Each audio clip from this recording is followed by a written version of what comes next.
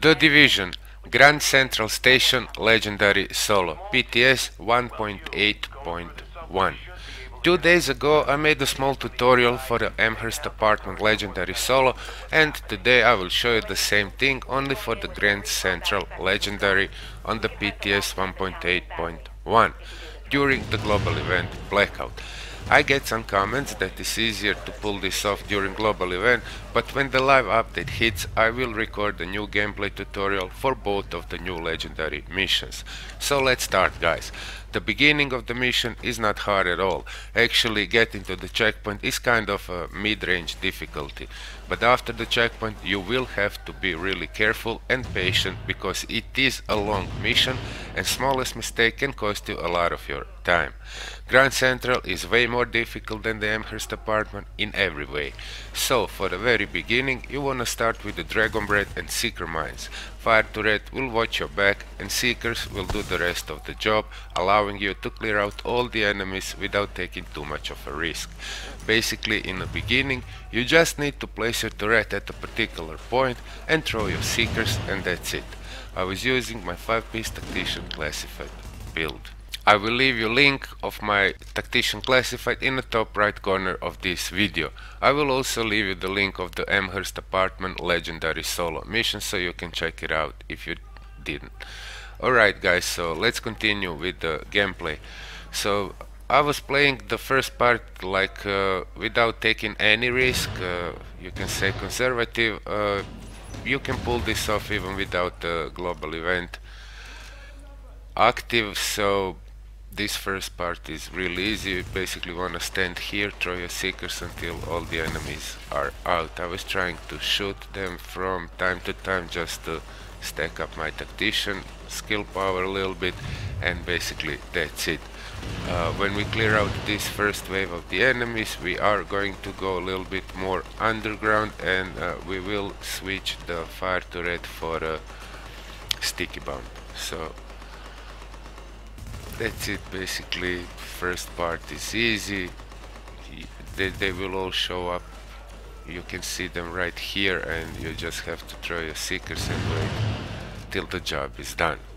Uh, later in the mission I had some situations where I was lucky again like in the Amherst apartment but nevertheless I hardly managed to finish this mission. Uh, the end is uh, disastrously hard uh, there is again a hunter at the end of the legendary mission. It is resilient like in the Amherst apartment maybe even more. But I switch my tactics but that part of the video took me too long to finish. Uh, you will see at the end there is a very very strong wave of enemies with bosses and a hunter. And uh, you will see how I managed to survive all that attacks and finish the mission.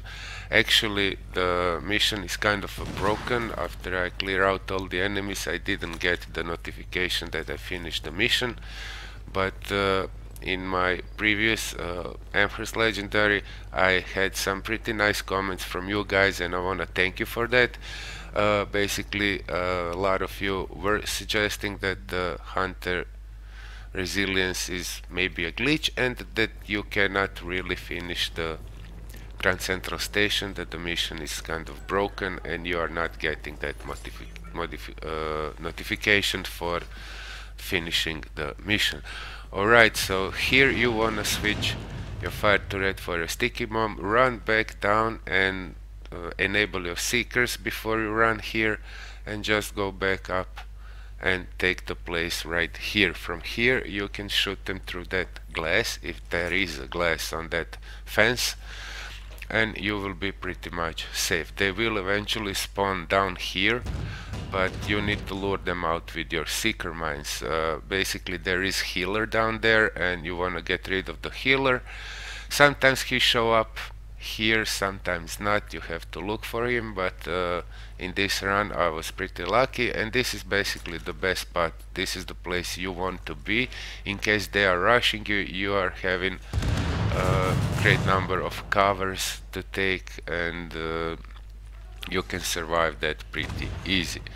As I said the first part of the mission is nothing special. Okay the the wave of enemies just before the checkpoint. It is hard it is tricky because the healer is not spawning in the first wave. You will see when we come to that uh, you have to just lure him out but let's stay here. Okay uh, the healer is down and I managed to kill him with my shock ammo. Okay this is easier than it will be in the live update without global event but anyway it's a first run so you can see what is all about and uh, how enemies are spawning. That way it will be easier for you once you going to play that mission for yourself. Uh, it is tricky here because there is actually more than two waves of enemies. Uh, once you get the signal that all uh, enemies are clear out you are having three more enemies that will spawn. So you have to be really really careful. Uh, you will see what I'm talking about in short. This is basically the easiest way. Okay objective complete but it's not uh, you will have to clear three more enemies. I believe there are two more shotgunners and uh, one agent or one kind of a boss here. So stay up here after you get the notification that all enemies are cleared and finish those three guys again. Just don't rush too hard uh, in the next part of the mission. Like in every legendary be patient is the best thing you can do uh, if you don't want to go over and over again. Uh, it took me some time to finish this mission. I'm not gonna lie to you guys it is way more harder than the other legendaries I played. I believe we are going to find better ways to finish this mission quicker waves and uh, we are moving to the next part of the mission. Okay once you are here uh, you will stay here almost all the time.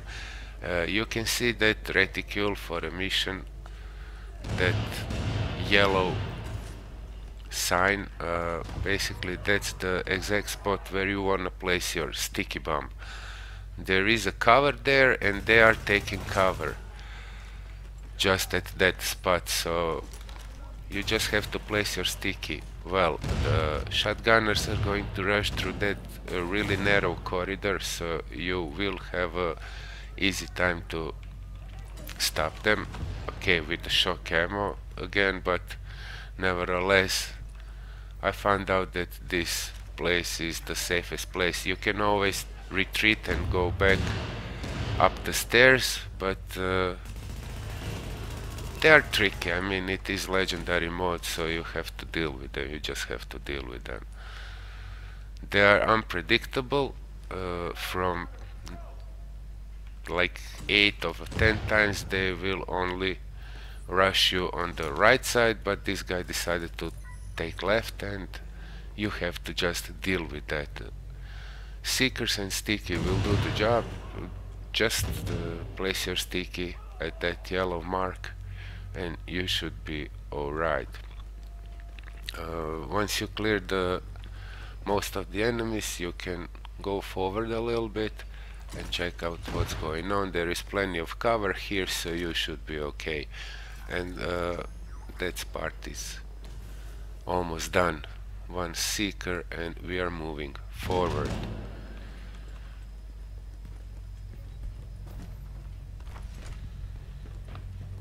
alright that's it. Uh, let's go. Now this is also easy and we are just coming close to the checkpoint. In couple of minutes we will be at the checkpoint but before the checkpoint there is a hard job to do. Okay uh, once you exit these ruins uh, you will have to clear them out with your sticky sometimes you can do them with just one sticky shot. They are all in the group here. One sticky and one seeker and that's it. So that's kind of uh, easy. You just have to place your sticky. Nice. And now we are having the hardest job so far. Uh, once you reach this point you wanna run straight into the control room and you will see them walking inside of the room. You wanna wait maybe to catch two even three enemy enemies in the circle of your sticky bomb but uh, I wasn't patient so I just pick one hit him and put my seeker on the floor and run back here. Alright. If there is no global event active, this might not be the best idea. As you can see, I was able to stop two shotgunners with my assault rifle, which is a low gear score assault rifle. But uh, you have to be careful here.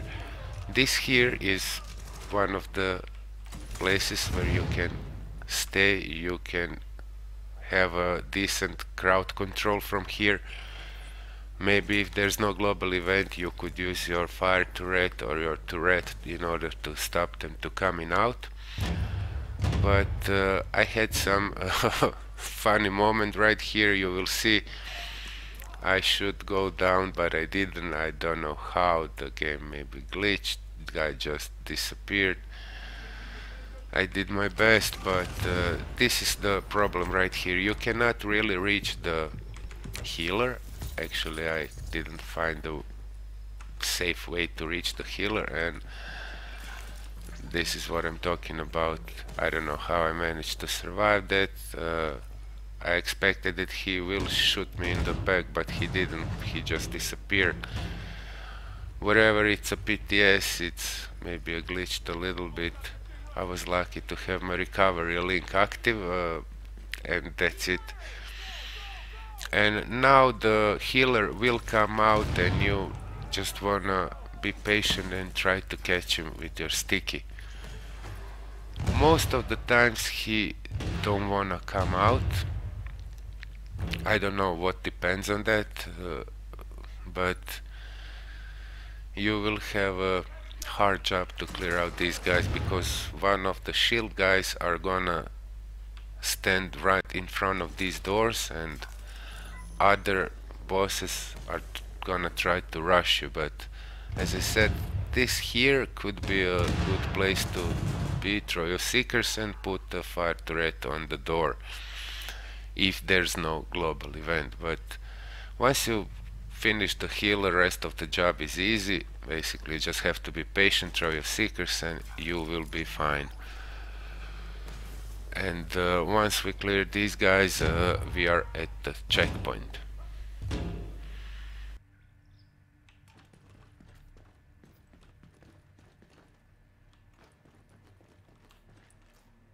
okay only the big shield guy left he doesn't move at all in this case and I finish him with one seeker and one sticky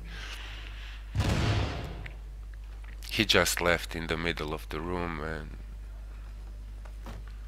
I was checking out and that's it.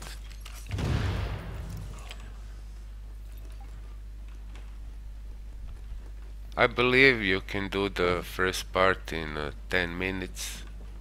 I was playing really slow in the beginning just to see is it doable without taking any risks.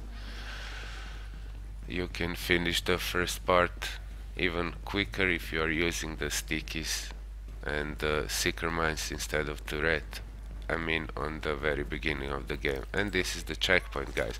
Alright to clear out these guys in a safe way you can throw your seeker and move a little bit more inside of the subway since I played this couple of times uh, I was pretty confident that I can finish the shotgunner like this from the close range. Uh, three seekers in this part should do the job and then the next wave of the enemies is going to spawn. This first part doesn't have a healer so you should be good if you throw three seekers. And after that you will eventually have to come out and look for the healer. And uh, after that you will have to progress over that bridge. And it is going to be a hard job because there is uh, multiple enemies multiple grenadiers snipers and uh, you will see it's long mission and it took me more than 30 minutes to finish uh, solely because of the finale of the mission and the hunter which is as you all probably know very very hard to kill. So once you clear that first part of the first wave of the enemies you will have to go outside and look for the healer you can see him right here. I was pretty lucky. He just showed up eat the sticky and then the rest of the enemy is not problem. As always in the legendary once you clear the healer you will not have big problems to clear the rest of the enemy. So just be patient. Uh, this is one of the best positions. You can see them all. You can even see them coming so just be here and try to do best you can. We will move forward in a short and you will see how that goes. Alright uh, right here is also good place to be because you can see them. You are in the cover. And this is the spot from where your seekers can reach them. If you stay a little more in the back your seekers will not be able to reach them. So be sure to come somewhere here. You can also go up on that small uh, container whatever that is and you will have the similar situations like in some other legendaries. I'm I remembering the napalm you remember the first part after the checkpoint you have to dodge the grenades and throw your seekers and stickies down there something like that you will have if you climb up that little platform right here uh, there is new wave of enemies with uh, two or three shotgunners, so you just wanna be patient, uh, take the cover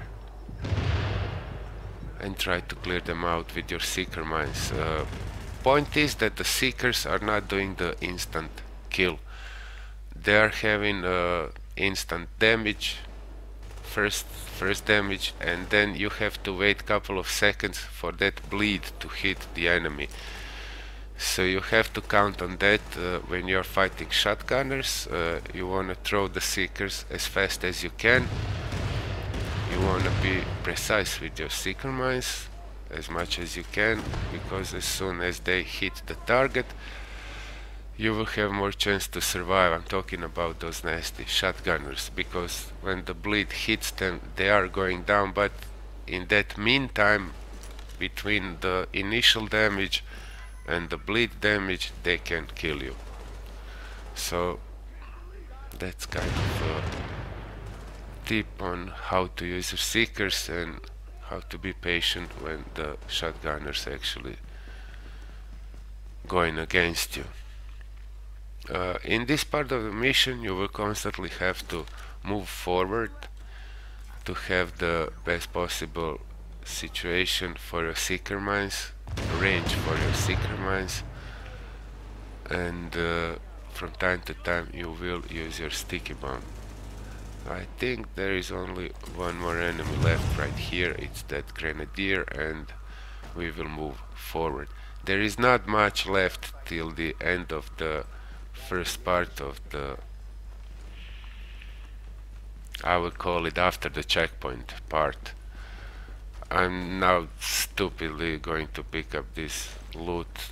I don't know why but I was kind of uh, it was irritating to see all that loot from before hanging around so I'm picking this up and we will move forward in a second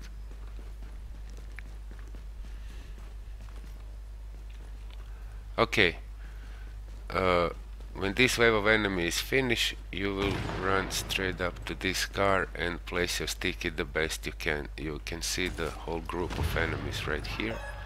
And basically, you will not have to move from this position for a while. Uh, your seekers will do the job you will eventually see the healer coming and of course you have to deal with the healer but this is pretty safe position uh, I didn't notice any grenades coming my way if they are they were blind death grenades but the turret guys are strong and that shield guys is pretty strong so you just have to be careful and not expose yourself too much we will eventually have to move clo closer to them in order to hit them with the sticky. Sticky can sometimes hit the fence and the cover so you, you will have to aim well in this part of the game. You see those two tactician guys uh, placing their turrets, they are pretty dangerous but if you are in the cover you should be fine.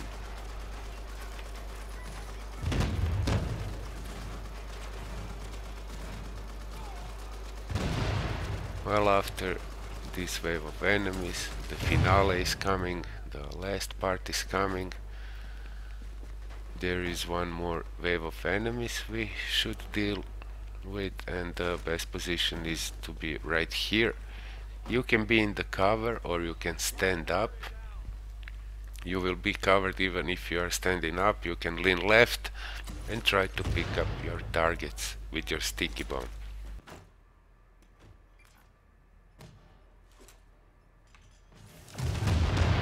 There's no worries that they will kill you if you are in the cover. As you can see that these nades are not the real nades. Disruptors sticky and uh, I don't know blind death grenades shock grenades are all there throwing at you but the fire is pretty strong. So just be patient and try to clear most of them and then move forward. Because if you stay here you will not be able to reach all of them with your sticky and you have to be careful and watch out for the snipers. They are extremely dangerous in this part. Okay and that's it. Uh, basically we are at the end of the mission. Only one guy left and he will go down in a short as I said, it's pretty long mission. After this, we will have to do that all over again, only in the different direction. And I was trying a couple of places here where where is the best possible place to be, and I find out that it is here. It a, it's a defensive behind that Hummer vehicle. Uh, I try to be on top of those platform on the left and on the right side but as you can see they're hitting so hard that you really have to be in the cover and this is probably the best position.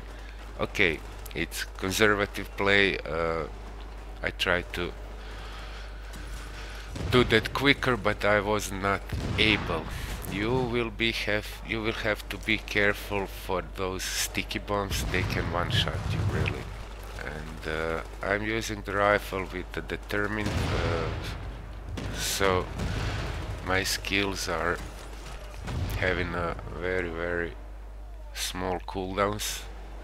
And also my recovery link is regenerating real quick. And that saved me that saved me a lot of times. You can check out the build as I said in the beginning of the video in the top right corner of the YouTube card, but determined on your rifle is extremely important altogether with the Predatory. So, I know this might be a little bit boring, but uh, telling you guys this is probably the best way to be. You can even go more in the back, you can even retreat more if you need to. You will see that they will rush you and there is not much you can do. And they start to rush you then uh, retreat and try to deal the highest damage possible on those bosses. You will see what I'm talking about in a minute. You also want to have that kind of a narrow path. They simply don't have a choice then uh, run up to me and I can aim better. I mean it is a narrow street so they are not having too much places to take cover and shoot at you from the cover. So as I said I tried out uh, many many places in this uh, but for me personally this was the place from where I was able to finish the mission and that's it guys. In the very end when only the hunter left uh, I was using the turret in order to finish the hunter. And then I remembered the last boss of the Times Square. You know that you can kill that big shield guy in the Times Squares only with the turret. And uh, I believe that the hunter at the end of new legendary missions is not a glitch. I believe it's meant to be that way. Those are the stickies I was talking about. They will one-shot you. Uh, to continue about the hunter. Uh, sustained damage is doing the best against him. So I take my turret at the very end and he's not a typical hunter. He's like uh, as I said that boss in the Times Square where he's having uh, health which is depleting very very slowly no matter the damage you are doing to him. He's not healing that often as the hunters do. Usually you know once you hit them and you think they are over they heal themselves he is healing himself but as I, I could see in this gameplay he was healing himself maybe two or three times the most but his health bar is going down very very slow so you need to do a ton of damage in order to put him down. Okay, we passed that uh, part where those bosses are rushing. They will rush more, as I remember. And uh, that's it, guys. I'm not gonna babble anymore. I will leave you to see the rest of the gameplay. If you find this video useful or funny in any way, please comment like, consider to subscribe if you're new to the channel and I will see you guys in my next video.